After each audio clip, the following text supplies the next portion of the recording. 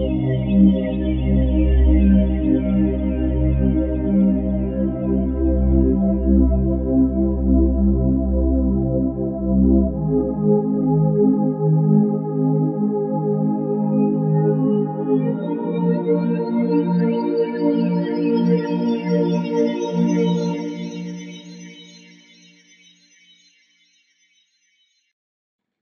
गुरुभ्यो नमः।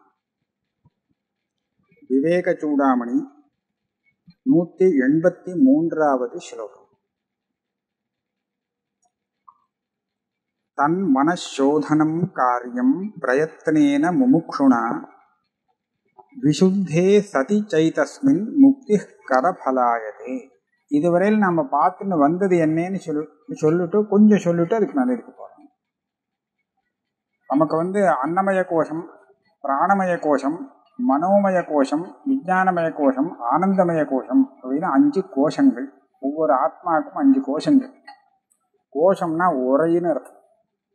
இப்போ நம்ம சரீரத்துக்கு நம்ம மேலேருந்து பனியன் சட்டை எல்லாம் போடுறோம் இல்லையா? இதெல்லாம் ஒரு உரைகள். தலகாணி உரை மாதிரி போடுறோம். அந்த மாதிரி ஆத்மாவை மறைச்சு மூடக்கூடிய ஒரு ஐந்து கோஷங்கள் ஐந்து உரைகள். முதல்ல ஸ்தூலமான அன்னமய கோஷம் எல்லாருக்கும் தெரியுறது. இது வெளியில் தெரியுறது இல்லையா? அன்னத்தை சாப்பிட்டு வளர்றது. இது அன்னமய கோஷம். அதைத்தான் நாம் வந்து நான்னு நினச்சிட்டு இருப்போம் ஆரம்ப காலத்தில். சாஸ்திரம் படிக்காத பரியந்தம் அதுதான் நான் அப்படின்னு நினச்சிப்போம். சாஸ்திரம் படிக்க ஆரம்பிச்சதுக்கப்புறம் அது நான் இல்லை. அதை காட்டிலும் நான் வேறு. அது என்னுடைய சரீரம். அது நான் இல்லை அப்படின்னு தெரியும்.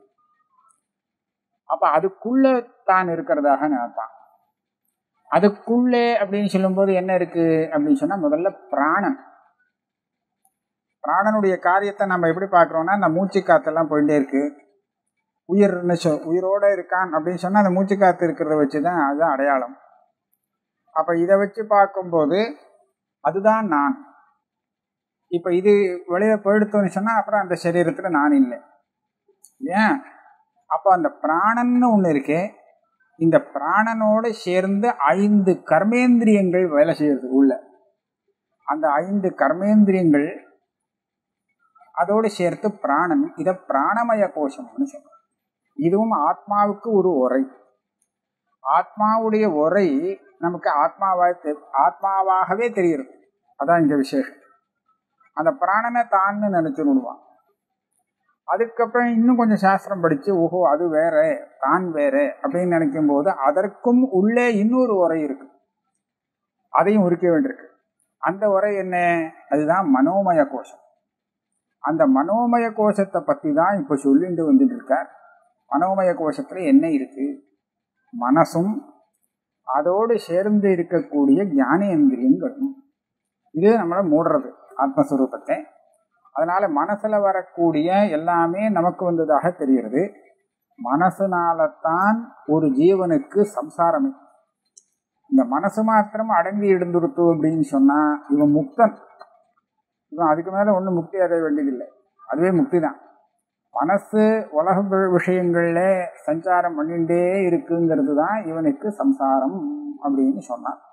ஆக மனோமய கோஷத்தை பத்தி விசேஷமா சொல்லி முடிச்சு இப்போ அதை உபசம்ஹாரம் பண்ணும் இடத்துல மேல்கொண்டு அடுத்த கோஷத்துக்கு போகணுமே. அப்போ அதை உபசம்ஹாரம் பண்ணக்கூடிய இந்த இடத்துல என்ன சொல்றாருன்னா முமுட்சுகளுக்கு ஒரு உபதேசம். அந்த உபதேசம்தான் இந்த நூற்றி எண்பத்தி மூணாவது ஸ்லோகம். தத் மனசோதனம் காரியம் பிரயத்தனேன முமுக்ஷுனா. முமுக்ஷுவாக மோட்சம் வேணும் அப்படின்னு ஆசை உள்ளவர்களாக இருப்பவர்களுக்கு ஒரு உபதேசம் என்னன்னா அவ பிரயத்தனம் செய்து இந்த காரியத்தை சாதிக்க வேண்டும். எந்த காரியத்தை? மனசோதனம் மனசுத்தியை சம்பாதிச்சுக்கணும் மனசை சுத்திப்படுத்திக்க வேண்டும். அதனால என்ன மூச்சுக்கு லாபம்? மனசு அழுக்கா இருந்துட்டு போகிறது மனசும் நான் இல்லை. அது அழுக்கா இருந்தா என்ன சுத்தமாக இருந்தா என்ன அப்படின்னு கேட்டா இல்லை. விசுத்தே சதி செய்தஸ்மின் முக்தி கரபலாயத்தை. உனக்கு மோட்சம் வேணுமோ இல்லையா? முமுட்சு தானே நீ மோட்சம் வேணும்னு ஆசைப்படுறவன். அப்படியானால் இந்த மனசு சுத்தமாக இருந்தால் மோட்சம் உன் கைக்குள்ள வந்துடும். கரபலாயத்தை கையில இருக்கக்கூடிய ஒரு பலத்தை போல அந்த மோட்சங்கிற பலம் உன் கைக்கு வந்துடும். மனசு சுத்தமா இருந்தா. மனசு அப்படி இல்லைன்னு சொன்னா அது தூரக்கப்படும். பலம் தூரக்கப்படும். விசுத்தே சதி செய்தஸ்மின் முக்தி கரபலாயத்தே. ரொம்ப கிட்ட வந்துடும். அதனால தான் முமுட்சுவானவன் மனசை சுத்தப்படுத்த வேண்டியது. அப்ப மூக்கு என்ன கேட்பான் நீ பாட்டுக்கு சொல்கிறியே மனசை சுத்தப்படுத்துன்னு சரீரத்தை சுத்தப்படுத்துன்னு சொன்னா நான் சோப்பு கூப்பு போட்டு சரி பண்ணி சுத்தமா வச்சுன்னுடுவேன் மனசை நான் எப்படி சுத்தப்படுத்துறது? ஜலத்தை விட்டு அலப்ப முடியுமா? சோப்பு போட முடியுமா? அப்படின்னு கேட்பான் இல்லையா? அப்ப மனசை சுத்தம் பண்றதுக்கு வழி என்ன? அதை சொல்றதுக்காக அடுத்த ஸ்லோகம். மோக்ஷை இது நூத்தி எண்பத்தி நாலு. மோக்ஷைக சக்தியா விஷயேஷு ராகம் நிர்மூல்ய சந்நிய ச சர்வகர்மா சச்ரத்தயா யா ஸ்ரவணாதினிஷ்ட ரஜஸ்வபாவம் ச துனோதி புத்தி இந்த மனசில் வந்து சத்வகுணம் ரஜோகுணம் தமோகுணம்னு மூணு குணங்கள் வேலை செய்யுது சத்வகுணம் வேலை செய்யறது ரொம்ப உத்தமம். அப்படி இருந்து கொடுத்தோன்னா நமக்கு ஒன்றும் ரொம்ப ச- சௌகரியம் மோட்சத்துக்கு போகிறதுக்கு ஆனால் ரஜோகுணம் வேலை செய்யும் போது அது நமக்கு இடைஞ்சல் பண்ணும். தமோ குணம் வேலை பண்ணினா நன்னாவே தூக்கம் வந்துடும். வேலையே செய்யாத ஆலசியம் தான் தூக்கம் நன்னா வரும் தமோ குணத்தில். ஆனால் நமக்கு அதை பற்றி கவலை இல்லை. ரஜோகுணம் வேலை செய்கிறது இருக்கே வேலை செய்கிறது இருக்கோ இல்லையோ அந்த ரஜோகுணத்தை நிறுத்தணும். அது வேலை செய்கிறது தடுக்கணும்.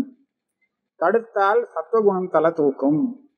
அப்போ நமக்கு மோட்சம் கிட்ட வரும். அதுக்காக என்ன பண்ணணுமாம் மோக்ஷைக சக்தியா. மோக்ஷத்திலேயே இவன் ஆசைப்படுறது என்ன? மோட்சம் வேணும்னு ஆசைப்படுறானா? இந்த ஆசையை நல்லா திருடப்படுத்திக்கணும். மோக்ஷம் தான் எனக்கு வேண்டும் அப்படின்னு பிடிவாதமா அதில் ஒரு பூர்ணமான ஒரு ஆசையை ஆசக்தியை ஏற்படுத்தி கொள்ள வேண்டியது. அதில் ஆசக்தியை ஏற்படுத்தின்றால் விஷயேஷு ராகம் நிர்மூல்ய. மற்ற விஷயங்கள் இருக்கு. அதில் ஆசைகள் மூலத்தோடு அருந்துவிடும்.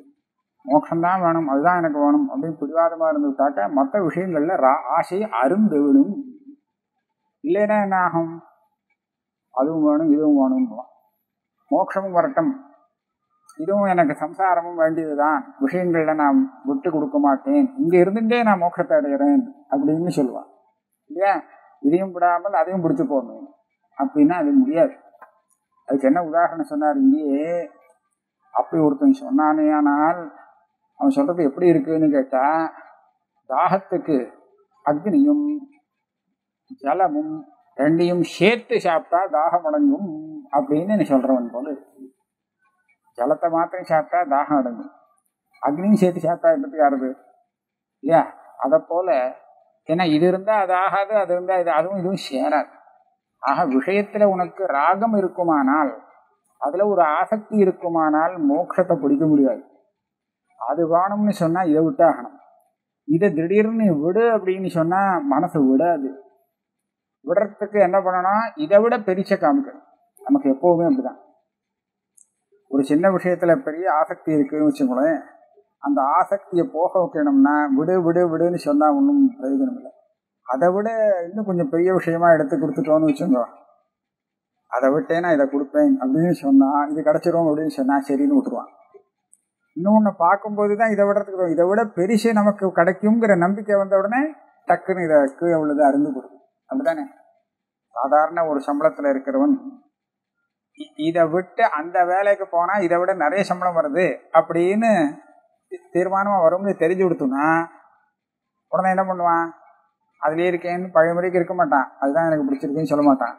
அதை விட்டுட்டு இதுக்கு வந்துடுவான் அப்புறம் இதை நினச்சி நினச்சி பார்க்கும்போது அது அந்த- வேலை ரொம்ப கஷ்டமா தோணும் ஏற்கனவே செஞ்சுட்டு இருந்தது கஷ்டமா தோணும் அது கஷ்டமாக தோணுதுன்னா நமக்கு இவ்வளோ நல்ல சான்ஸ் இருக்கிறச்சே.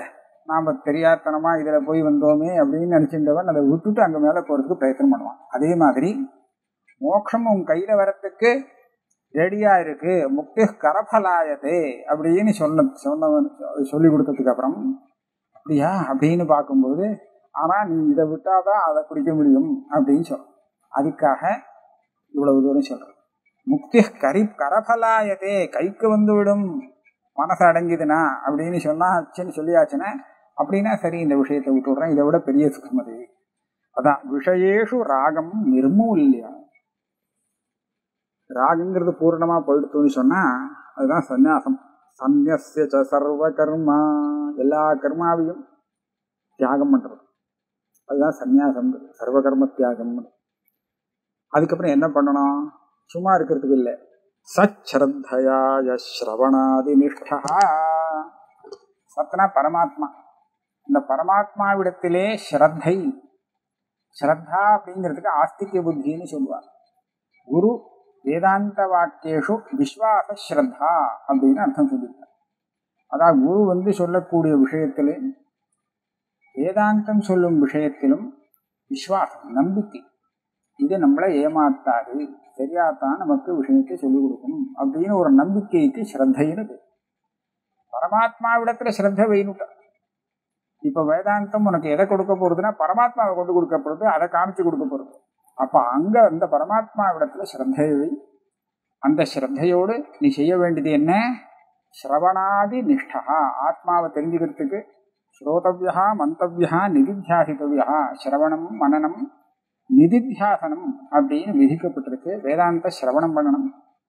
வேதாந்த சிரவணம் பண்ணி தெரிஞ்சின்றதை நன்றாக மனநம் செய்ய வேண்டும். மனநம் செஞ்சதுக்கப்புறம் அது அனுபவத்துக்கு வர்றதுக்காக ஒரு யோகம். அதுதான் நிதித்தியாசனம்னு சொல்ல போகிறது தியானம். அது செய்ய வேண்டும்னு சொல்லியிருக்கோம் இல்லையோ? அந்த சிரவண மனன நிதித்தியாசனத்திலேயே ஈடுபட்டு இருந்தானே ஆனால் அப்போ என்ன ஆக? இவனுடைய மனசு சுத்தமாயிடும். அதான் சொல்கிறார் சுத்தமாறுதுன்னா என்ன? ரஜஸ்வபாவம் சத்குணோதி புத்தே. தன்னுடைய மனசு இருக்கே. மனசுல இருக்க வரக்கூடிய அந்த ரஜஸ்தனுடைய குணம் இருக்கே ரஜோகுணம். அந்த ரஜோகுணத்தை அவன் அகற்றி விடுகிறான் குணோதி அப்படின்னா அதுக்கப்புறம் அவனுடைய மனசுல ரஜோகுணம் வேலை செய்யாது. அதனுடைய வேலை எல்லாத்தையும் நிறுத்திவிடான் ஏன்னா அவன் சத்துவகுணத்தினுடைய காரியத்தில் வந்தாச்சு. சத்துவகுணம் மேல் தூக்கி வந்து கொடுத்துன்னா அப்புறம் ரஜோகுணங்கள்லாம் அடங்கி போயிடும். அதுதான் சொல்றது. ரஜஸ் இப்படியாக மனசை சுத்தி பண்ண வேண்டும். முமுட்சுவாக இருக்கிறவன் தன் மனசை சுத்தி செய்வதற்கு இதுதான் சரியான உபாயம்.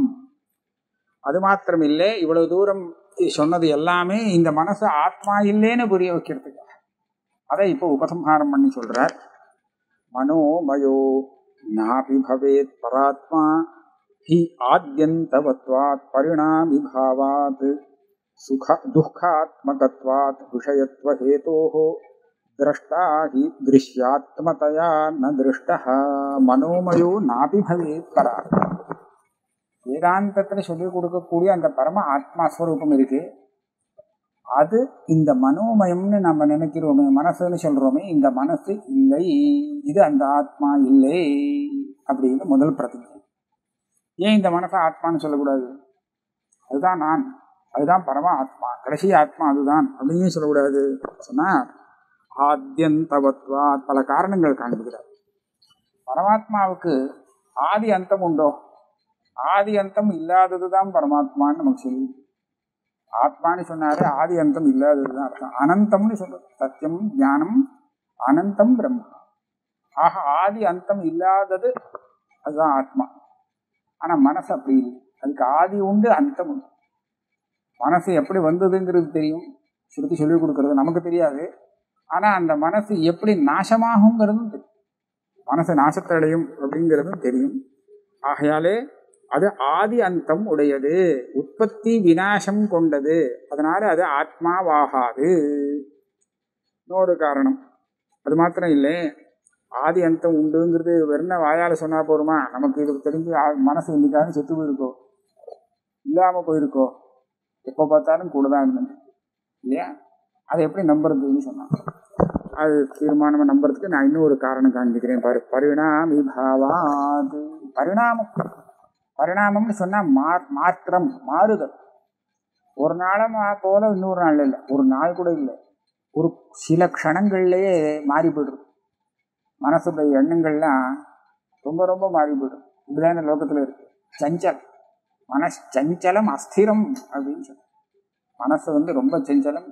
அது ஸ்திரமாக இருக்காது அப்படிங்கிறதுலாம் அதனுடைய ஸ்வபாவம் அதனால ஒவ்வொரு க்ஷணமும் அது மாறுபட்டு கொண்டே இருக்கு.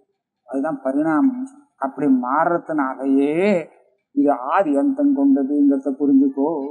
எதற்கு ஆதி அந்தம் கிடையாதோ அதுல மாற்றமும் கிடையாது. அது எப்போதும் ஒரே மாதிரி தான் இருக்கும் எப்படி இல்லையோனோ அது போரும் அதுக்கு ஆதி உண்டு அந்தம் உண்டு. மாறிண்டே இருக்குன்னு சொன்னா ஒரு நாளைக்கு காணாம போயிடும். அதுக்கு அந்தம் உண்டு. பரிணாமி பாவாத்து துக்காத்மகத்வாத். மனசு கஷ்டப்படுறதா இல்லையா? மனசுக்கு வேதனையாக இருக்குது பல விஷயங்களை நம்ம வந்து பேப்பரில் படிக்கும்போது மனசுக்கு வேதனையாக இருக்குதுன்னு சொல்கிறோம் இல்லையா? அப்போ இந்த மனசுக்கு தான் வேதனையாக இருக்குது அப்போ எதுக்கு இந்த மாதிரி ஒரு துக்கம் ஏற்படுகிறதோ அது ஆத்மாவாகாது. ஆத்மாவை பற்றி ஸ்ருதி எப்படி சொல்லி கொடுக்கறது? வேதம் ஆனந்தகா பரமானந்தகா அப்படின்னு சொல்லுது பரம ஆனந்த ஸ்வரூபமாக அந்த ஆத்மா சைத்தன்யமாக இருக்கு. மனசு அப்படி இல்லை அது துக்காத்மகமாக இருக்குது தானும் துக்கமா இருந்துட்டு தன்னோட சேர்ந்த ஆத்மாவுக்கும் துக்கத்தை கொடுத்துருக்கு ஆகையால இது ஆத்மா ஆகாது. விஷயத்துவ ஹேதோஹோ கடைசி ஹேது. கடைசி பிரமாணம் என்னன்னு சொன்னா மனசு என்னால் காணப்படுகிறது. அதாவது மனதை நான் பார்க்கிறேன். என்னுடைய மனது என்ன செய்கிறது அப்படிங்கிறதை நான் காண முடிகிறது. நான் காண்கிறவன் மனசு காணப்படும் பொருள் அதனாலேயே காணப்படுகிறவனான நான் வேறு அந்த மனது வேறு. மனது நான் அல்ல மனசு ஆத்மா இல்லை அப்படின்னு தெரிஞ்சுக்க முடியும் திரஷ்டாகி திருஷ்யாத்மதையா ந திருஷ்டா எவன் பார்க்கிறானோ அந்த பார்ப்பவன் பார்க்கப்படும் பொருளாக எங்கேயாவது பார்த்துருக்கீடோ ஆக முடியும் பார்க்கிறவனும் பார்க்கப்படும் பொருளும் ஒன்றாக முடியாது. இவன் பார்க்குறான்னு சொன்னால் இவன் எதை பார்க்குறான்னா வேற எதையோ ஒன்று சொல்லணும். தன்னையே தானே பார்த்துக்கிறான்னு சொன்னால் அது முடியாது நீங்கள் சாதாரணமாக சொல்லலாம். என்னையே நானே பார்த்துக்க முடியுமா முடியாது இப்படி பார்க்குறேன் கண்ணால? நன்னா தான் தெரியுது. என்னையே நானே பார்த்துக்கிறேன்னு சொல்கிறேன்னா இல்லையா? இது தப்பு. ஏன் தப்பு? நான் என்னால் பார்க்கப்படும் பொருள் எது? சரீரம். என்னுடைய கை என்னுடைய கால் என்னுடைய உடம்பு. அது என்னால் என் கண்களால் நான் பார்க்கிறேன். பார்க்கிற நான் அந்த உடம்பு இல்லை உடம்ப காட்டிலும் வேறானவன். நம்ம பார்க்கிறவன் யாரு? உடம்ப காட்டிலும் வேறானவன். அது எதை பார்க்கிறது? பார்க்கிற பார்க்கப்படும் பொருள் எது? சரீரம். ஆக இது உதாரணம் தப்பு. தன்னை தானே பார்த்து கொள்கிறான் அப்படிங்கிறதுக்கு இதை உதாரணமாக காண்பிக்க முடியாது. இதை எப்படி உலகா உதாரணமா சொல்கிறான்னு சொன்னால் ஏமாந்து போனவான். சரீரமே ஆத்மா அப்படின்னு நினைக்கிறாளோ இல்லையோ இந்த தேகம்தான் ஆத்மா அப்படின்னு யார் நினச்சிட்டு இருக்காளோ அப்பேற்பட்டவா ஏதோ நான் என்னையே பார்த்துக்கிறேனே அப்படின்னு சொல்லுவான் நான் என்ன பார்த்துக்கல. என்னுடைய உடம்ப நான் பார்க்குறேன். உடம்பு வேற நான் வேறேன்னு இருக்கும்போது பார்க்க எல்லா இடத்துலையுமே பார்க்கிறவன் வேறு பார்க்கப்படுபவன் வேறு. அதான் பார்க்கப்படும் பொருள் வேறு. மனசு என்னால் பார்க்க முடியாது இல்லையா? மனசு எப்படி துக்கப்படுறதா? என்ன எது? எல்லாம் நமக்கு விவரம் புரியுது அதனால பார்க்கிற நான் சாட்சியாக இருக்கிறேன். மனசு அதற்கு விஷயமாக இருக்கிறது. அதனால அது நான் இல்லை அப்படின்னு சொல்லி கொடுத்தார் இப்படியாக நாம் மூன்று கோ- கோஷங்களை தாண்டி வந்தாச்சு. அன்னமய கோஷம் பிராணமய கோஷம் மனோமய கோஷம். இதை தாண்டறது தான் என்னன்னா அது நான் இல்லைன்னு புரிஞ்சுக்கிறது தான். இப்படி குதிச்சு வெளியில போறதுன்னு அர்த்தம் இல்லை. இந்த அன்னமய கோஷம் நான் இல்லை. அது வேற நான் வேற. பிராணங்கிறது அது என்னுடைய பிராணனா இருக்கலாம் அது நான் இல்லை. மனசு கூட என்னோட சம்மந்தப்பட்டிருக்கே தவிர அது நான் அதுவே நான்கிறது இல்லை. அதை காட்டிலும் நான் வேறு அப்படின்னு புரிந்து கொள்வதே அதை தாண்டுவது. இப்போ மூன்று கோஷங்களை தாண்டி வந்துட்டோம். நாலாவது கோஷம் விஞ்ஞானமய கோஷம். விஞ்ஞானமய கோஷமும் மனோமய கோஷம் மாதிரி தான் மாதிரினா என்ன வித்தியாசம்னா மனசு ஒரே சஞ்சலம். இங்கே புத்தின்னு சொல்லுவோம். அந்தகரணத்துக்கு புத்தின்னு பேரை கொடுப்போம். அந்தகரணம் தீர்மானத்தை பண்ணும்போது புத்தி. இப்படியா அப்படியா அப்படின்னு சஞ்சலப்பட்டு இருக்கும்போது மனசு. பேர் மாறும். இந்த மாதிரி காரியம் பண்ணியதுன்னா அது மனசு. ஒரு தீர்மானத்துக்கு வந்தா சரியோ தப்போ ஏதோ ஒரு தீர்மானத்துக்கு வருவோம் அப்படின்னு தீர்மானத்துக்கு வந்தாச்சுன்னா அது புத்தி. புத்தி செய் புத்தின்னு பேர் வரும். இப்போ விஞ்ஞானம்னு சொல்லக்கூடியது அந்த புத்தியை. அதுவும் தனக்கு உண்டான அந்த இந்திரியங்கள் இருக்கு. ஞானேந்திரியங்கள் அந்த ஞானேந்திரியங்களும் சேர்ந்து விஞ்ஞானமய கோஷம் அப்படின்னு சொல்லப்படுறது. இதை இதை இப்போ நிரூபணம் பண்றோம். அது கூட நான் இல்லைன்னு சொல்லணும். புத்திர் புத்தீந்திரியை சார்த்தம் சவருத்தி கர்த்திரு லக்ஷணா கர்ம லக்ஷணான்னு அச்சாயிருக்கு ஆனால் கர்த்திரு லக்ஷணான்னு தான் பாடம் சரியான பாடம் வி- விஞ்ஞானமய கோஷா சாத் பும்சம்சார காரணம். புத்தீந்திரியைகி சார்த்தம். புத்தீந்திரியம்னா ஞானேந்திரியங்கள். அதை எந்த இந்திரியங்கள்னாலே நமக்கு ஞானம் பிறக்கிறதோ அந்த இந்திரியங்கள் ஞானம் ஞானேந்திரியங்கள். கண்ணால பார்க்கிறோம் காதால கேட்கிறோம் இதெல்லாம் ஞானேந்திரியம். ஞானத்துக்கு உபயோகப்படக்கூடிய இந்திரியங்கள் அந்த இந்திரியங்களும் அதோடு சேர்ந்து புத்தியும். இது ரெண்டும் சேர்ந்தோம்னா அது நமக்கு ஒரு உரை. ஆத்மாவை மூடக்கூடிய ஒரு அம்சம். கோஷமானது அதை நாம் விஞ்ஞானமய கோஷம்னு சொல்றோம். அது மாத்திரம் இன்னும் ஒன்று சேர்ந்துருக்கு. சவிற்த்திகி அந்த புத்தியில் விற்த்திகள் வருது. விற்த்தினா எண்ணம்னு வச்சுக்கணும் இதுதான் அப்படின்னு ஒரு தீர்மானம் பண்ணுறதோ இல்லையோ அது ஒரு எண்ணம். இப்படி செய்யலாம் சங்கல்பம் வருது அப்படின்னு சொல்லணும் இப்படி பண்ணணும் ஒரு சங்கல்பம் வரும் இதெல்லாம் வந்து அந்த விஞ்ஞானமய கோஷத்திலே செய்யும் இதுதான் விஞ்ஞானமய கோஷம். இது என்ன பண்றது? கர்த்திரு லக்ஷணா இதுதான் வேலை செய்யறது. கர்த்தா ஆவாகிறது. ஆத்மா கர்த்தா அப்படின்னு தெரியறதுக்கு இதுதான் காரணம். நாம் ஒரு வேலையில் இறங்கணும் அப்படின்னு சொன்னால் நிச்சயம் பண்ணிட்டு தானே இறங்குவோம். நிச்சயம் பண்ணுறது எது? புத்தி தானே. புத்தி தான் வேலை செய்யும் அது ஸ்ருதியில் எப்படி சொல்றதுன்னா விஜானம் யஜ்யம் தனுதே கர்மாணி தனுதே பிச்ச அப்படின்னு தைத்திரிய உபநிஷத்தை சொல்லுவோம் இந்த புத்தி இருக்கே. இதுதான் யஜ்யம்னு வேதத்தில் சொல்லப்பட்ட காரியங்கள். யஜ்யம்னு ஒரு உபலட்சணம் யஜ்யம் மாத்திரம் இல்லை வேதத்தில் விதிக்கப்பட்ட காரியங்களையும் அந்த புத்தி தான் செய்யறது. ஆனால் அது தெரிஞ்சாதான் அது தீர்மானத்துக்கு வந்தால் தான் செய்ய முடியும். லௌகிகமான கர்மாக்களை செய்யறதும் அந்த புத்தி தான். புத்தியால் தான் வேலை செய்கிறான் இல்லையே நான் வந்து காலால் நடக்கிறேன் கையால். புத்தி ஆர்டர் கொடுத்ததுக்கு அப்புறம் தான் இது வேலை நடக்கும். புத்தி தீர்மானம் பண்ணலைன்னு சொன்னால் இவனால் நடக்க முடியாது ஒன்றும் பண்ண முடியாது. இங்கேருந்து அங்கே போகணுமா வேண்டாமா? அப்படின்னு ஒரு சந்தேகம். இந்த சந்தேகத்தில் அவன் போக கிளம்பிடுவான் அவன் திடீர்னு? கிளம்ப மாட்டான். இவனுடைய புத்தி அங்கே வந்து சரி எப்படியா இருந்தாலும் போய் பார்ப்போம். அப்படின்னு ஒரு தீர்மானம் பண்ணி கொடுக்கும். அப்புறம் அப்புறம் தான் கிளம்புவான். ஆக விஞ்ஞானம் தான் அந்த காரியத்தை செய்யறது. புத்தி தான் அந்த வேலையை செய்யறது. அது சொல்லலைன்னா உடம்பு வேலை செய்யாது. அதனால விஞ்ஞானம் யஜ்ஞன் தனுதே கர்மாணி தனுத்து லௌகிகமாகட்டும் வைதிகமாகட்டும் எல்லா விதமான காரியங்களுக்கும் அது நடக்கணும்னா அதுக்கு காரணமாக இருக்கிறது புத்தி. அதனால அதை கர்த்தான்னு பேர் வச்சுட்டோம் அதுதான் செய்யறது. கர்த்திரு லக்ஷணா விஜயானமய கோஷஸ்யா. இதுதான் விஜயானமய கோஷம் என்று சொல்லப்படும். இது என்ன பண்றது? சம்சார காரணம். புமான்னா ஆத்மா. இந்த ஆத்மா எல்லா விதமான சம்சாரத்துக்கு சம்சாரத்தில் விழுந்து விடுறானே சம்சாரி ஆகிறானே அப்படி சம்சாரி ஆவதற்கு முதல் காரணம் இதுதான். இந்த புத்தி தான் புத்திக்கு அதீனமாகத்தான் இந்த ஆத்மாவுக்கு ஜீவத்துவமே வந்திருக்கு. இவனை ஒரு ஜீவாத்மா அப்படின்னு சொல்கிறோமே இவன் ஏன் ஜீவாத்மா ஆனான்னு சொன்னால் இந்த புத்தியோடு சேர்ந்து இருக்கிறதுனால தான் இது உபனிஷத்து சொல்லிக் கொடுக்குது. உபனிஷத்தை எப்படி சொல்லிக் கொடுக்குறது அப்படின்னு கேட்டா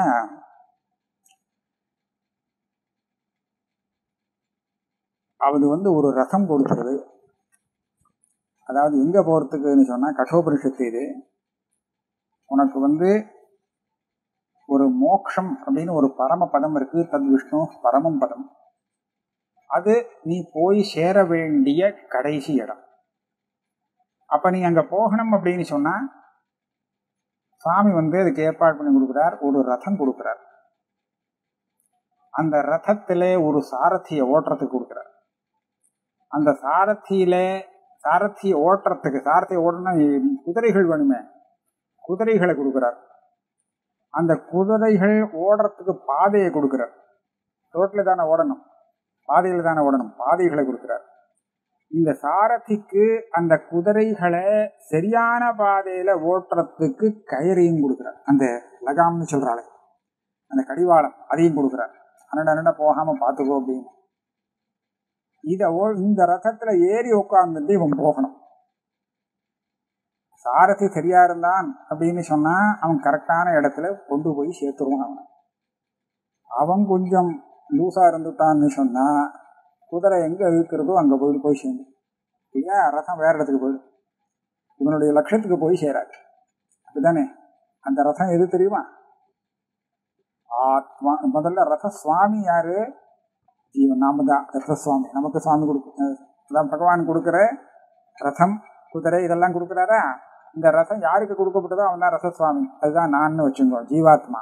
ஆத்மானம் ரதினம் விதி ஷரீரம் ரதமேவது பகவான் கொடுத்த அந்த ரதம்ங்கிறது நமக்கு இந்த சரீரம் இருக்கு பார்த்தீங்களா இந்த சரீரம் தான் அந்த ரதம்.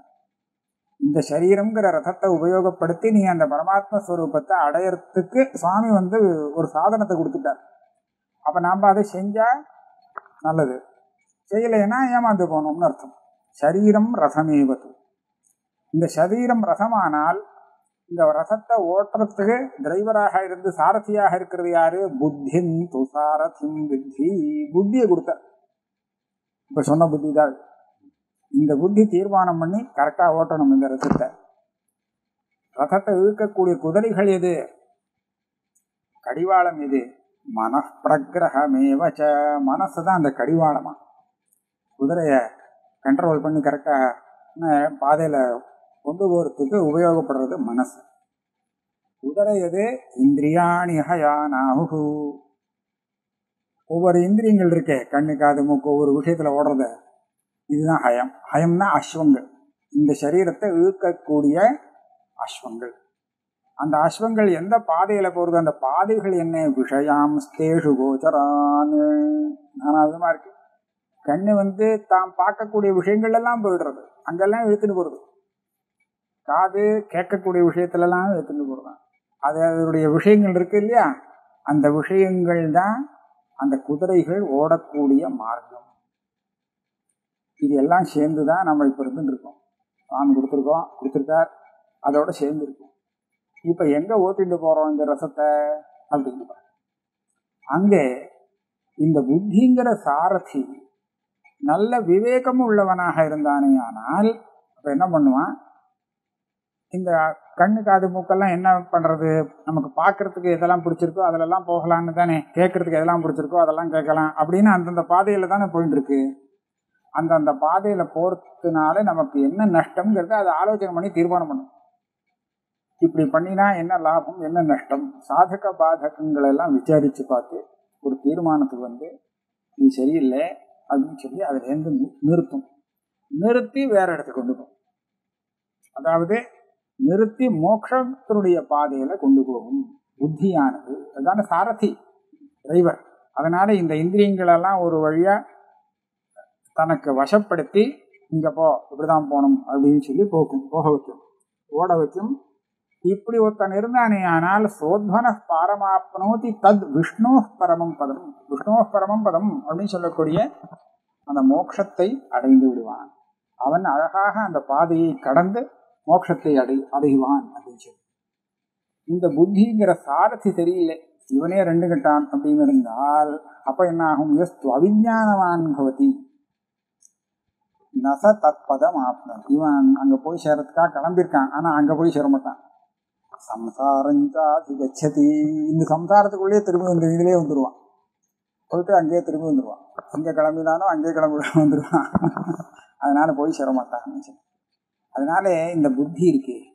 இந்த புத்திங்கிற இந்த கோஷம்தான் ஆத்மாவுக்கு சம்சார காரணம். இவன் சம்சாரியாகிறதுக்கு காரணமானது இதுதான். இது சொல்றபடி தானே மற்றதெல்லாம் கேட்கறது? எல்லாம் இது கடங்கு இருக்கிறதுனால இதுதான் பிரதான காரணம் அப்படின்னு சொல்றோம். விஜானமய கோஷஸ்யாத்வம் சகா சம்சார காரணம். அனுவிரஜித் பிரதிபிம்பசக்தி விஜான சம்ஜா பிரகிருத்தேர் விகாரः அகம் இத்தியஜஸ்ரம் தேகேந்திரியாதிஷு அபிமன்யத்தே பிருஷ்ணி இந்த விஞ்ஞானம் என்ன பண்ணுறது அப்படிங்கிறத இப்போ சொல்கிறார் இதுக்கு எப்படி இந்த சக்தி? புத்திக்கு. அனுவிரஜ சித் பிரதிபிம்ப சக்தி இந்த புத்திக்கு ஒரு கண்ணாடி மாதிரி ஒரு சுவாவம் அதாவது கண்ணாடி எப்படி முகத்தினுடைய பிரதிபிம்பத்தை கிரகிக்கிறது இல்லையா? முகம்னு இல்லை இந்த பிரதிபிம்பத்தை கிரகிக்கக்கூடிய சக்தி இருக்கு இல்லையா? அதை போல இந்த விஞ்ஞானம் அதனால தான் இதுக்கு பேரு. இந்த புத்திக்கு சைத்தன்ய ஆத்மாவுடைய பிரதிபிம்பத்தை கிரகிக்கிறதுக்கு உண்டான சக்தி இருக்கு. இந்த புத்தி எங்கெல்லாம் போ பிரதிபிம்பத்தை கிரகிச்சு கொடுத்துன்னு வச்சுக்கோ இந்த புத்தி எங்கெல்லாம் போகிறதோ அங்கெல்லாம் கூட ஆத்மா போகிறது ஆத்மா போகிற மாதிரி இருக்கு. இந்த கண்ணாடி இருக்கு கண்ணாடியில் வெயில் பட்டதுன்னு வச்சுக்கோ வெயிலில் வச்சுக்கோங்க. அப்புறம் அந்த கண்ணாடியை பாருங்க. பார்த்தா ஒரே ஜொலிக்கு. இல்லையா? அப்போ ஒரே அதுலேருந்து கண்ணாடியிலேருந்து பிரகாசம் வர மாதிரி இருக்கும். அந்த கண்ணாடி என்னண்டே என்னண்டே நகட்டிகிட்டே போனால் அது பாட்டுக்கு அந்த அந்த பிரகாசமே நகண்டு போயிட்டு இருக்கும். போயிட்டு இருக்க மாதிரி தோணும். ஒன்றும் நகரத்துக்கு நகர்றது இல்லை ஆனால் இது நகர்ந்தா இதுவே தான் இப்போ நம்ம பிரகாசம்னு தெரியுது இதுலேருந்து பிரகாசம் வரா மாதிரி தெரியுது கண்ணாடியிலேருந்து வெளிச்சம் அடிக்கும். நாம் அங்கே இருந்துட்டு ஆற்றுக்குள்ளே அந்த கண்ணாடியை இப்படி திருப்பி வச்சோம்னா அதில் பிரகாசம் அதுவே பிரகாசத்தை கொடுக்கறதாக நமக்கு ஒரு பிரமை ஏற்படும். ஆக இதுவே பிரகாசத்தை கொடுக்கக்கூடியதாக ஆயிடும். கண்ணாடி ஒரு பிரகாசமாக ஆயிடும். சூரியனை போலேயே அது என்னென்ன இரண்டெல்லாம் போகும் கண்ணாடி போகிறச்ச அப்படித்தானே திருஷ்டாந்தத்தில் இருக்கு? அதே மாதிரி தான் நம்ம புத்தி இருக்கு பார்த்தீங்களா? இந்த புத்தி ஆத்மா உடைய பிரதிபிம்பத்தை தன்னிடத்திலே ஏத்துண்டிருக்கு அனுபிரஜ சித் பிரதிபிம்ப சித்தருடைய சித்தனா ஆத்மா சைத்தன்யம் அதனுடைய பிரதிபிம்பத்தை வாங்கி கொண்டிருக்கிறது. அதனால இது ஆ- நடமாடும் ஆத்மா. இரண்டா இரண்டா போகக்கூடிய அனுபிரஜத் கூட வந்துட்டே இருக்குது. இது எங்கெல்லாம் போறதோ அங்கெல்லாம் கூட ஆத்மா வரும். நிஜமா வரவே இல்லை. எங்கேயும் வரல. ஆத்மா எல்லா இடத்துலையும் வியாபிச்சுட்டு இருக்கு. அது நகரல. ஆனால் இது நகண்டா இது நகண்டு நகண்டா மாதிரி இருக்கு. இதுல வந்து அந்த சக்தியே வந்து விடுதான் சித் பிரதிபிம்ப சக்தினா சித்துடைய பிரதிபிம்பம் வந்த உடனே சித் சக்தியே வந்தா மாதிரி. அதான் சொன்னேன் பாருங்க அந்த கண்ணாடியே பிரகாசமாகி அது இன்னும் பிரகாசம் கொடுக்குற மாதிரி நமக்கு ஒரு பிரம வரும். இல்லையா? அதை போல இதுவே ஒரு சைத்தன்யம் ஆயிடுத்து இதுவே தியானம் ஆயிடுத்து இதுவே எல்லாத்தையும் பிரகாசப்படுத்தி கொடுக்குது இப்படி பண்ணணும் அப்படி பண்ணக்கூடாது அப்படின்லாம் தீர்மானம் பண்ணி கொடுக்குது. அந்த மாதிரி ஒரு சக்தி அதுக்கு வந்து கொடுத்து விஜான சம்யா இதுக்கு விஜயானம்னு ஸ்ருதி பேர் கொடுத்துருக்கு. விஜானம் யஜ்யந்தனுதே அப்படின்னு. பிரகிருத்தேர் விகாரஹா பிரகிருத்தின்னு சொன்னால் மாயை. அந்த மாயையுடைய பரிணாமம். மாயிலேருந்து தானே எல்லாம் வருது. மாயிலேருந்து பஞ்சபூதங்கள். பஞ்சபூதங்கள் இப்படி பல விதமான உருவத்தில் பரிணாமத்தை அடைகிறது. அப்போ இது ஒன்று இந்த அந்தகரணம் புத்திங்கிறதும் அதுலேருந்து வந்த ஒண்ணுதான். பிரகிருத்தேர் விகாரஹா ஞான கிரியாவான் இதுக்கு ரெண்டு சக்தி இருக்கு. ஞான சக்தின்னு ஒன்று கிரியாசக்தி ஒன்று இப்படி சொல்லுவா இல்லையா? இச்சாசக்தி ஞானசக்தி கிரியாசக்தி. இச்சாசக்திக்கு உபலட்சணம் ஏன்னா கிரியாசக்தின்னு சொன்னால் தியானசக்திக்கும் கிரியாசக்திக்கும் நடுப்புற இச்சாசக்தி. இது எப்படி நம்ம புரிஞ்சுக்கலாம் அப்படின்னு சொன்னால் இப்போ அங்கே ஏதோ ஒன்று எனக்கு பிடிச்ச விஷயம் இருக்குதுன்னு நான் பார்த்துட்டேன் பார்த்த உடனே என்ன ஆகுது? அதுவரையில் ஒன்றும் நான் போகல. எனக்கு தெரியாது அங்கே என்ன நான் அந்த விஷயம் இருக்குதுன்னு ஆனால் இப்போ இருக்குன்னு தெரிஞ்ச உடனே ஞானம் வந்துட்டா அது எடுத்துட்டு வந்துடலாமே அப்படின்னு தோன்றும். அது வேணுமே நமக்கு அப்படின்னு இச்சாசக்தி தூண்டி விட்டது. இச்சாசக்தியை தூண்டி விட்ட உடனே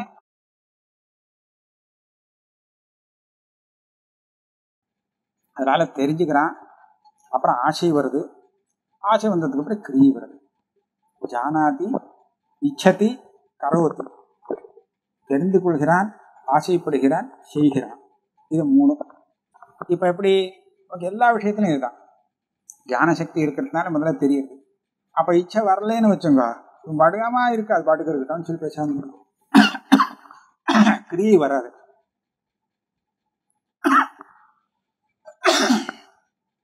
அந்த கிரியை வரணும்னு சொன்னா இவனுக்கு அந்த இச்சா சக்தி வந்து அதனால அதை இதுக்குள்ள அந்தர்கதமா வச்சுருந்தோம் இந்த புத்திக்கு ஞான சக்தி இருக்கு கிரியா சக்தி இருக்குன்னு சொன்னா இச்சா சக்தியும் இருக்கத்தான் இருக்கு. இது எல்லாத்தையும் செய்யக்கூடியது இதுதான். அகவித்யஜஸ்ரம் அபிமன்யது. நான்கிறது எனக்கு மறக்காம தெரிஞ்சுட்டு இருக்கு இல்லையா? எப்போவாது மறந்து போகிறதோ நான்கிறது இருக்கேனா இல்லையா? அப்படிங்கிறது மறந்து போறதோ? மறக்கலை. ஏன் இன்னும் மறக்கலை? மற்றதெல்லாம் மறந்து போகிறது இத்தனை மணிக்கு இந்த காரியம் செய்யணும் நாளைக்கு அப்படின்னு நினைக்கிறோம். கரெக்டாக அந்த டைம் இன்னும் வருது. ஆனால் நமக்கு வேலை மறந்து போகுது ஆஹா சொன்ன அப்புறம் இப்போ ஞாபகம் வருது. அடா அடா. காலம்பரம் நான் அதை பண்ணணும்னு நினச்சிருந்தேன் மறக்காமல் வச்சுக்கணும்னு நினச்சேன். ஆனால் மறந்து போயிடுத்து அப்படின்னு சொல்றேன் ஆனால் தன்னை மறக்கிறான் என்னைக்காவது மறக்கிறது. அதனால் அஜஸ்ரம்னு சொன்னான். அஜஸ்ரம்னா நிரந்தரமாக நான் அப்படிங்கிறத காண்பிச்சுட்டே இருக்காங்க. அது மறக்கிறதே இல்லை. மறக்காம வச்சுட்டு அதனால அகம் இது அஜஸ்ரம் அபிமன்யத்தே நிரந்தரமாக இடைவெளி இல்லாமல் எப்போதும் நான் நான் நான் நான் அப்படின்னு ஒரு போட்டுட்டே இருக்கு. ஆவர்த்தி பண்ணிட்டே இருக்கு விடாம. எதை நான் சொல்றது இது? தேகேந்திரியாதிஷு அபிமன்யத்தே பிருஷம். இந்த தேகம் இந்த இந்திரியம் இது எல்லாமே நான். இதெல்லாம் சேர்ந்தது நான். இது எல்லாமே நான். நான்னா இதெல்லாம். இதே ஏதாவது வந்ததுன்னா நான் நான் எனக்கு ஏதோ வந்தது. அப்படின்னு இது எல்லாத்தையும் நான் நான் நான் நான் அது உருபோட்டுலே இருக்கு. எப்போதும். கடத்தை பார்க்கறச்சே நான். நான் இருக்கு. நீங்க எந்த விஷயத்தை பார்த்தாலும் நான் இல்லாமல் அந்த விஷயத்தை பார்க்க முடியாது. அந்த விஷயம் தெரியும் போது நானும் கூட கூட தெரியும். பார்க்கறச்ச நான் பார்க்குறேன்னு தெரியறதா இல்லையா? நான் அந்த வஸ்து நான் அந்த வஸ்துவை சொல்றதே அப்படிதானே வருது. நான் தெரியாம இல்லையே. கட்டம் எனக்கு தெ- எனக்குன்னு அங்கேயே ஒரு சுவாபாவிகமாக வருது. கட்டம் எனக்கு தெரிகிறது அப்படின்னு சொல்கிறோம் இல்லையா? கடன் தெரிகிறது. ஆனால் எனக்கு தெரிகிறதா? வேற யாருக்காவது தெரிகிறதா? அப்படின்னு ஏதாவது சந்தேகம் வருதா? அந்த விடத்தில் சந்தேகம் வராது. இல்லையா? தெரியறதுன்னு சொன்னால் எனக்கு தான் தெரியுறது அது ஏன்னு கேட்டால் நீங்கள் எந்த விஷயத்தை பார்த்தாலும் சரி அந்த விஷயத்தை பார்க்கறச்ச அந்த நான்கிறத விடாமல் வச்சுருக்கு இந்த புத்தியானது. அதனால தான் நமக்கு இந்த புத்தி இருக்கிற பரியந்தன் நான் விடாது. புத்தி வேலை செஞ்சுட்டு இருக்கு அது முடிச்சுட்டு இருக்கிற பரியம் அது வேலையை நிறுத்திட்டுனா அப்புறம் நான்ங்கிறது இல்லை. அது வேலை நிறுத்தாம பண்ணிட்டு இருக்கிற காலத்துல நான்கிற எண்ணம் இருந்துட்டே இருக்கும். நீங்க நான் நான் நான் நான் சொல்லிட்டே இருக்கணும்னு அவசியம் இல்லை. அது பாட்டுக்கு உள்ள அந்த எண்ணம் ஓடிண்டே அது ஓடிண்டே இருக்கிறச்ச தான் வேற ஒன்று வருது. பட்டம் என்ன பட்டம் என்ன அது அப்படியே ஆச்சே நீங்கள் எந்த எண்ணம் வந்தாலும் இந்த எண்ணம் பாட்டுக்கு ஒன்று கூட கூட வந்துட்டே இருக்கு. இதை விட்டு விட்டுட்டு வேற எண்ணம் வரல அதோடு சேர்ந்து வேற எண்ணங்களும் அங்கே வந்து சேரும் அதை சொல்கிறோம் அனுவிரஜ சித் பிரதிபிம்ப சக்தி விஜான சம்ஜா பிரகிருத்தேரு விகாரா ஞானக்கிரியாவான் அகமிதி அஜஸ்ரம் தேகேந்திரியாதிஷு அபிமன்யத்தே பயம். இதில் என்ன தப்பு பண்ணுறது இதுன்னு கேட்டால் தேகேந்திரியாதிகளை நான் ஒரு எண்ணத்தை கூடவே கொடுத்துருக்கு அது நான் இல்லைங்கிற எண்ணத்தை கொடுத்துட்டுருக்குன்னு வச்சுக்கோங்களேன் நாம் வந்து தப்பிச்சு விடுவோம் சம்சாரமே இல்லை முக்தனாகவே இருக்கலாம். ஆனால் இது விபரீதமாக ஒரு எண்ணத்தை ஏற்படுத்தி கொடுத்துட்டுருக்கு. அதுதான் இது பண்ணுற சிரமம். அந்த கரணம் ஏதேஷு சக்ஷுராதிஷு வர்ஷ்மணி அகமித்யபிமானேன திஷ்டதி ஆபாச தேஜதா அப்படின்னு இதுக்கு முன்னாடி சொல்லியிருக்காரு அவர். இவரே சொல்லியிருக்காரு. இந்த அந்தகரணம்ங்கிற இந்த புத்தி இருக்கே வருஷமான சரீரம். இந்த சரீரத்துல எப்படி இருக்குன்னு சொன்னா நான் நான் நான் நான்கிற எண்ணத்தோடு கூடவே இருக்கு. சாத்திக்காக கூட அப்படிதான் சொல்கிறேன் நமக்கு ஏதாவது ஒரு ஞானம் வந்திருக்குன்னு தெரியணும்னு சொன்னா நான் தெரியாமல் அது தெரியாது அதே சமயத்துல நான் தெரியணும்னா ஏதாவது அதோட கூட இருந்துட்டே இருக்கும். வெறும் சுத்தமான நான்னு ஒண்ணு தெரியாது. நான் இருக்கேன் உட்காந்துருக்கேன் பார்க்கறேன் இதை பார்க்கறேன் அதை பார்க்கறேன் துக்கமா இருக்கு சிரமமா இருக்கு சௌக்கியமா இருக்கு குளிப்பையா இருக்குது அப்படி எதையோ ஒன்று சேர்த்து சேர்த்து தான் நான் தெரியறதே தவிர அது நான் கூட இருக்கு. வெறும் நான் நான் அப்படிங்கிறது மாத்திரம் அந்த மாதிரி ஒரு தியானம் இல்லை. இதுல கிரியை இருக்கு தியானம் இருக்கு அப்படிங்கிறதெல்லாம் வரிசையா மேற்கொண்டு உபபாதனம் අනාදි කාලෝය මහම් ස්වභාවහ ජීවහ සමස්ත ව්‍යවහාර වෝධ කරෝති කර්මාණි අනුපූර්ව වාසනහ පුඤ්ඤානි අපුඤ්ඤානි ච තත්ඵලානි. භුංතේ രണ്ട് ശ്ലോക ഷേന്ദ് ഒരേ അന്വയമാവുന്നത് ഭുങ്ക്തേ വിചിത്രാസ്വപി യോനിഷു വ്രജൻ ആയാതി നിർയാത്യധ ഊർധ്വമേഷ அசைவ விஜானமயசிய ஜாகிரத் ஸ்வப்னாத்தியவஸ்தாக சுக துக்க போக பிரமாதமா இருக்கு இந்த ஸ்லோகம். இந்த பிரகிருத்தியோட விகாரம் விஜயானம் சொன்னோம் இல்லையா? இந்த விஜயானம் நமக்கு எப்போ வந்தது? தெரியாது. அப்படின்னா அனாதி காலமா இருக்கு.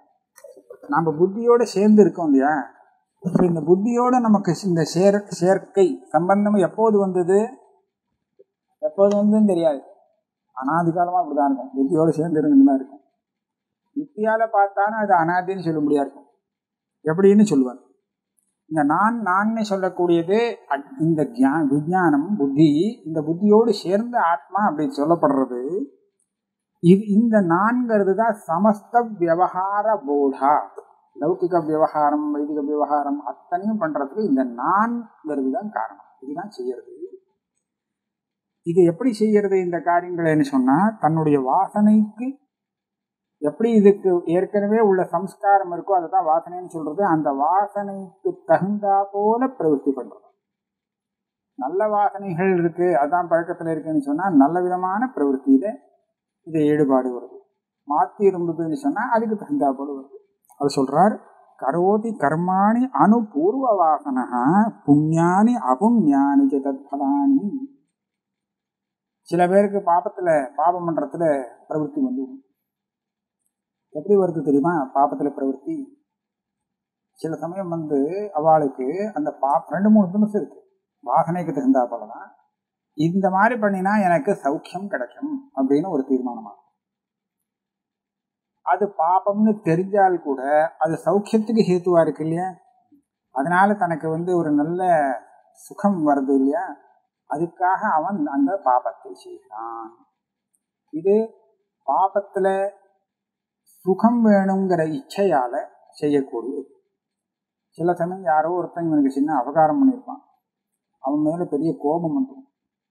இந்த கோபம் வந்து இவனை பாபம் செய்ய தோணும். அவனுக்கு ஏதாவது பண்ணிடலாம்? ஏதாவது பதில் பண்ணணுமே அப்படின்னு சொல்லி ஏதாவது தண்டிக்கணும் அப்படிங்கிறதுக்காக தப்பு காரியம் பண்ணுவான் அப்போ இங்கே வந்து இந்த தப்பு காரியத்தில் எது பிரவருத்தி ஏற்படுத்தினது?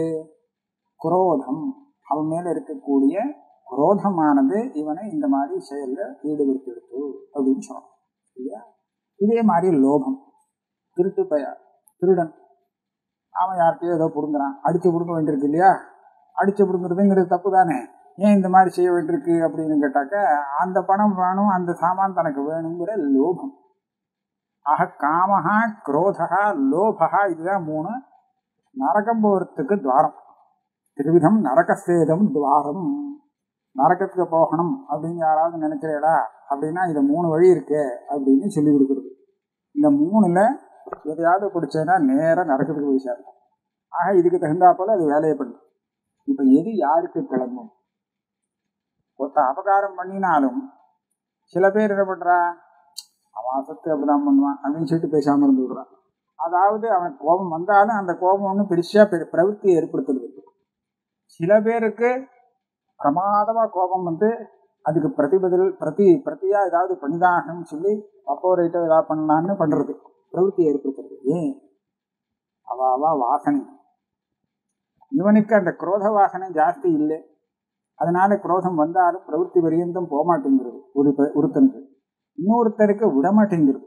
ஏன்னா அப்படியே அவன் பழக்கப்படுத்தி அந்த சம்ஸ்காரம் ஏறி இருக்கு அதனால அவனை அடிச்சாதான் நிம்மதியாகலாம் அப்படின்னு சொல்லி தப்பான பிரவருத்தியை ஏற்படுத்தி கொடுக்குறது ஆக பிரவருத்தி வரத்துக்கு ரெண்டுக்குமே இந்த குரோதமாகட்டும் காமமாகட்டும் லோகமாகட்டும் எல்லாமே இங்கே வருது. புத்தியில் வருது. புத்தி தான் தீர்மானம் பண்ணி கொடுக்குறது. ஆமாம் இந்த மாதிரி பண்ணிவிடுவோம் அப்படின்னு. அதனால இந்த புத்தி தன்னிடத்துல இருக்கக்கூடிய வாசனையை அனுசரித்து புண்ணியமோ அபுண்ணியமோ அப்புண்ணியம்னா பாபம். எல்லா விதமான பிரவருத்தியும் உண்டு பண்ணி கொடுக்குறது. உண்டு பண்ணியாச்சுன்னா பண்ணியாச்சுன்னா அப்புறம் அது பலத்தை அனுபவிச்சுதான் ஆகணும். பண்றா பண்ணாத வரையில ஒன்றும் சம்பந்தம் இல்லை. பலத்தோட சம்பந்தம் இல்லை. பண்ணிட்டான்னா அப்புறம் அது பலம் விடாது. எப்படியா இருந்தாலும் தவிர்க்க முடியாத அதை பண்ணித்தான் அதோட பலத்தை அனுபவிச்சு தான் ஆகணும். தத் பலானி அதுல இந்த சரீரத்தில் இருக்கும் போதே அவன் அனுபவிச்சுடுவான். நியாயமா அனுபவிக்க வேண்டியதுதான். இந்த சரீரத்துல தான் இருந்து நல்லா தப்பு பண்ணா அப்போ நல்லது பண்ணா முடிஞ்ச அளவுக்கு இந்த சரீரத்தில் அனுப்பிச்சிடுவான் ஆனா இன்னும் நிறைய பாக்கி இருக்குன்னா பாக்கி இருந்தா என்ன ஆகும் இந்த சரீரம் வந்து அதுக்கு ஒரு லிமிட் இருக்கே இவ்வளவுதான் அனுபவிக்க முடியும் அப்படின்னு இவன் பண்ணின வேலை நிறைய இருக்கு. புண்ணியம் அப்புண்ணியம் நிறைய இருக்கு பாக்கி இருக்குன்னு சொன்னா அப்ப என்ன ஆகும் இந்த சரீரம் போய் அந்த புண்ணிய புண்ணியம் வந்து இவனுக்கு இன்னொரு சரீரம் ஜென்மாவை எடுக்கிறதுக்கு காரணமாகும். ஆக இந்த சரீரம் ஒரு எத்தனை வயசு இருக்கும்? அது வீணா போயிடும். வீணா போச்சுன்னா விட்டுற வேண்டியிருக்கும். இது லாய்க்கு இல்லைன்னு இதை விட்டாச்சுன்னா கர்மா பண்ணின கர்மாவும் பாக்கி இருக்கு. அந்த கர்மாவுடைய பலத்தை அனுபவிக்கிறதுக்காகவே மறுபடியும் அனவே வேற ஒரு ஜென்மத்துக்கு போகணும். புங்கே விசித்ராஸ்வபி யோனிஷு விரஜன். அது இன்னொரு சரீரத்தை எடுக்கணும்னு சொன்னால் நிச்சயமாக ஒரு அம்மாவயத்துலேருந்து தான் வர வேண்டியிருக்கும். அது நானாவிதமான இவன். மனுஷனாக தான் இருப்பான்னு சொல்கிறதுக்கு இல்லை. அவன் இந்த மாதிரி கர்மா பண்ணுறானும் அதுக்கு தகுந்தா போல. அது அதாவது பிரம்மாதி ஸ்தம்ப பரியந்தம்னு சொல்லுவாள் பிரம்மாவா ரொம்ப மகா புண்ணியசாலியாக இருந்தான்னா பிரம்மலோகத்தில் பிரம்மாவா பிரம்ம பதவி அடைஞ்சிருவான் ரொம்ப மோசமான இதுன்னு சொன்னால் ஸ்தாவராந்தா அது அதோகதி இந்த செடி கொடி இந்த மாதிரி மரம் அல்லது இந்த புழு பூச்சி இத்தியாதிகள். இந்த ரூபத்தில் பிறப்பான். இதெல்லாம் போவான் சிலது மேலையும் போவான் கீழையும் போவான். ஆயா திரியாத்யத ஊர்துவமேஷா. சில சமயம் கீழே போவான். கீழே போய் எல்லாம் வேலை முடிஞ்ச உடனே அங்கேயும் செத்து போடுவானே எத்தனை நாள் அந்த இருக்கும்? அதனுடைய ஆயுசெல்லாம் ரொம்ப குறைச்சல் அது குறைஞ்சி போயிடுச்சுன்னு சொன்னால் அதுக்கு மேலே வருவான்.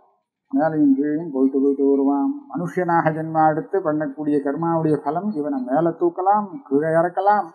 எல்லாம் பண்ணலாம் இப்படியா போயிட்டு இருக்கு இவனுக்கு தான் விஜயானமயம்னு பேரு அஸ்தீப விஜயானமயஸ்ய இவனுக்கு தான் மூன்று நிலைகள். ஜாகிரத் சொப்ன சுஷுப்தி முழிச்சுட்டு இருக்கிறான் அப்படின்னா இவன் தான் சொப்பனம் பார்க்கறான் தூங்கிண்டே. ஆமா இவன் தான் நல்லா தூங்கினான் சுஷுப்தி. இவனே தான் சுகதுக்கத்தை அனுபவிக்கிறவன் யார்? இவன் தான் எல்லாமே வந்தான் இவன் தான் ஜி அசைவ விஜயானமயச ஜாகிரத் ஸ்வப்னாத்யவஸ்தா சுக துக்க போகா இது எல்லாம் இந்த விஜயானமய கோஷத்தை சேர்ந்தது. ஆக விஜயானமய கோஷம்ங்கிறது எப்பேற்பட்டதுன்னு சொன்னால் இந்த ஜீவாத்மாவை கிரியை ஞானம் எல்லாத்தையும் கொண்டு ஒரு சம்சாரியாத்மாவாக ஆக்கக்கூடிய உரை ஆத்மாவுடைய உரை. இதை போட்டுட்டான்னா இவனுக்கு ஜீவன் மீது இதோட இந்த விஜயானமய கோஷத்தை வச்சுக்கோம்